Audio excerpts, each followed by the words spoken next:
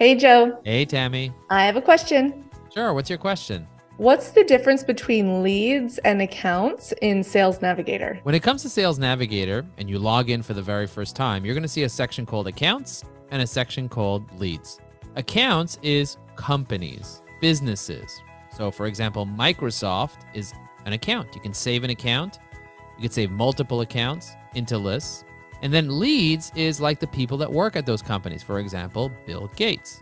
He works at Microsoft and you would save him as a lead. You can save many accounts and you can save many leads, but realize when you're targeting accounts, you're targeting companies and you can have an account based account marketing strategy, account based marketing strategy by saving accounts and doing research on accounts.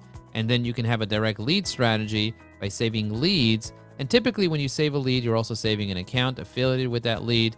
But sometimes leads can move from account to account, so you need to have the right strategy. If you want to learn more about our Sales Nav Bootcamp, where you can master the six components of Sales Navigator, go ahead and click the link below so you can learn more on how you can master Sales Navigator. Thank you so much, Joe. Thank you, Tammy. Boom. Boom.